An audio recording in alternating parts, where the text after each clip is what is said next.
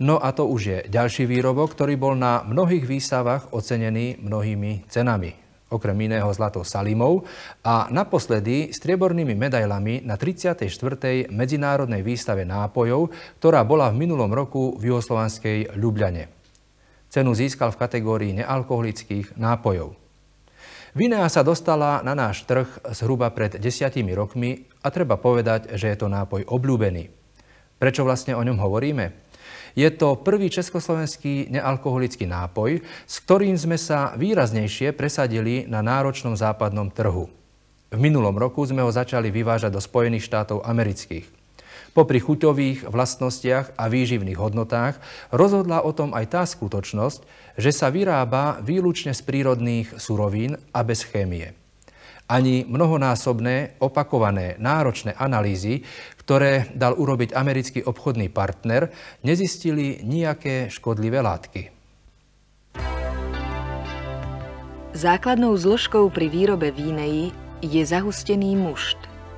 Pre vinárske závody v Nitre ho pripravujú z kvalitného hrozna v rajónoch okolo Kbeliec, Želiezoviec, Vrábľov, Topolčianok. V nitrianskej prevádzke spotrebujú ročne 1 600 tisíc litrov zahusteného muštu. Do muštu sa pridáva výťažok z kvetu bazy čiernej. Najlepšia oblasť na jeho zber sa rozprestiera okolo želiezoviec. Viac vám prezradiť nemôžeme, pretože receptúra nápoja je tajná. Hádam ešte to, že vineový sirup sa zmieša s vodou a voda z bánoviec, ktorú nitrianská prevádzka odoberá, je našťastie vysoko kvalitná.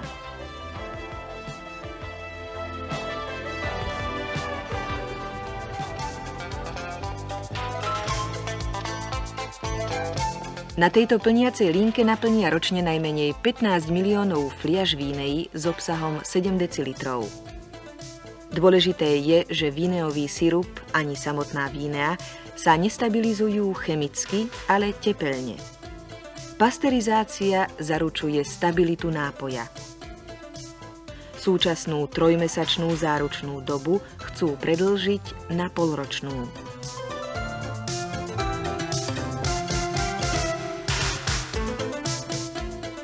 Vinárske závody v Nitre vyrábajú víneu už 9. rok. Za ten čas nemali ani jedinú reklamáciu.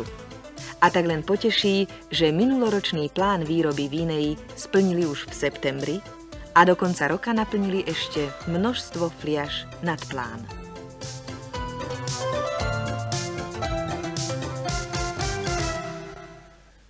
Prevádzka vinárskych závodov pod Zoborom dodala v minulom roku na náš trh vyše 2 milióny litrov vinej nad plán. S odbytom neboli problémy, takže náš spotrebiteľ si tento nápoj naozaj obľúbil. Ako to bude s exportom v tomto roku? O Vineu prejavili okrem Spojených štátov amerických záujem aj Belgičania a Nemecká spolková republika. Naši spotrebitelia však o nič neprídu. Zoborská prevádzka v tomto roku má za úlohu dodať na vnútorný trh o milión litrov vinej viac, ako bol plán v minulom roku. Export sa zabezpečí výrobou navyše.